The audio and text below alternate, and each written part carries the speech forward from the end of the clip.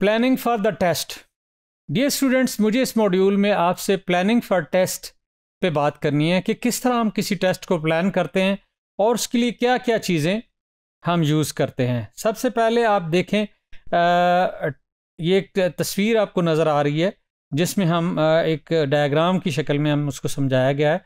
तो test plan is a document describing the scope approach resource and schedule of intended test activities तो उसमें सबसे पहले test planning and control so test analysis and design और test implementation and execution evaluation, exit criterias and reporting और test closure closure activities तो ये चीज़ें हैं जिसको uh, हम अब डिटेल से इसको देखते हैं। तो planning for test involves careful preparation to ensure the effective assessment of individual or intended objectives of result. तो इसमें जो स्टेप्स इन्वॉल्व हैं, उनको हम तफसील से देखते हैं। सो डिफाइनिंग द पर्पस तो सबसे पहले हम जब टेस्ट बनाते हैं तो उसके पर्पस को डिफाइन करते हैं।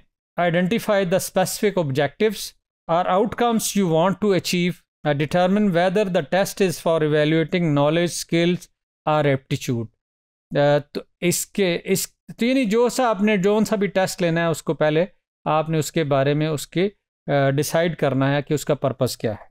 Identify target audience next step है इसमें जब टेस्ट आपने बनाना है तो आपने टारगेट ऑडियंस को डिसाइन करना है। तो the specific group or individuals who will be taking the test कौन टेस्ट ले रहे हैं? यानी किन को आपने टेस्ट देना है और किस लेवल के वो लोग हैं?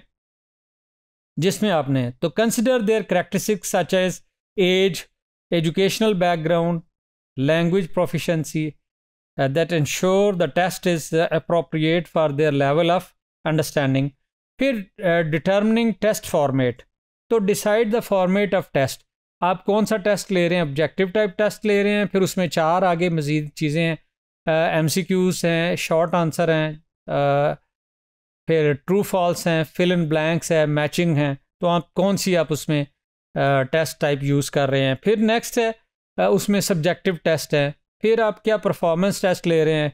तो ये नहीं, आपने कंटेंट किस पे टेस्ट लेना है, उसके बारे में डिसाइड करना है। या आपने सिर्फ़ नॉलेज पर टेस्ट लेना है, या आपने स्किल्स का भी टेस्ट लेना है तो फिर कंबाइंड टेस्ट कैसे करेंगे आप?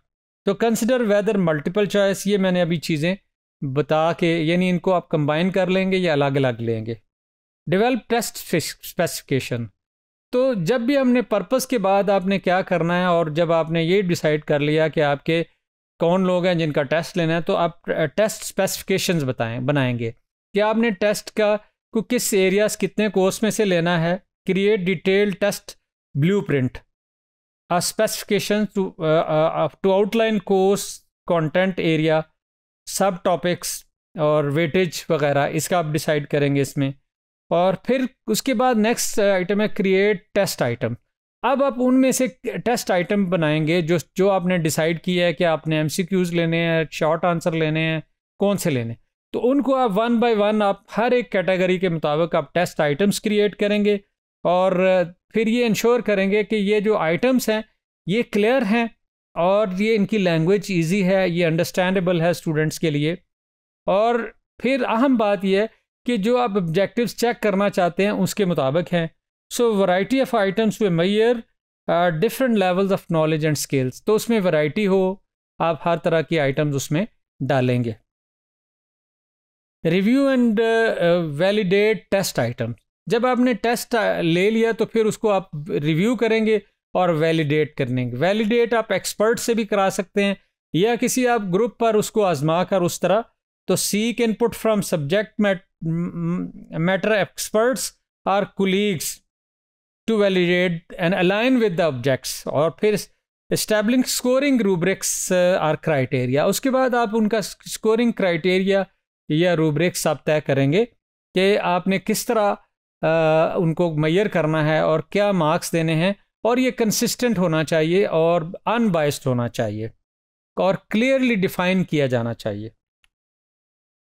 फिर कंसिडर टेस्ट एडमिनिस्ट्रेशन लॉजिस्टिक्स अब आपने ये तय करना है कि आपने उस टेस्ट को कैसे एडमिनिस्टर करना है। तो time and location of the test फिर availability of necessary materials for resource question papers की पब्लिशिंग है आंसर शीट्स की प्रोविज़न है सीटिंग अरेंजमेंट है, वो ये वगैरह।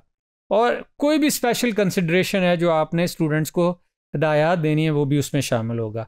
और पायलट टेस्ट द असेसमेंट तो ये भी है कि आपने टेस्ट एडमिनिस्ट्रेशन से पहले आपने पायलट टेस्टिंग करनी है, ताकि उसकी जो फ्लास हैं, जो उसकी कमी कुताइयाँ हैं, वो आप उसके रिजल्ट्स का एनालिसिस करेंगे और उसके मुताबिक से उसकी लैंग्वेज या और भी जो प्रॉब्लम होंगे, उनको आप इम्प्रूव करेंगे।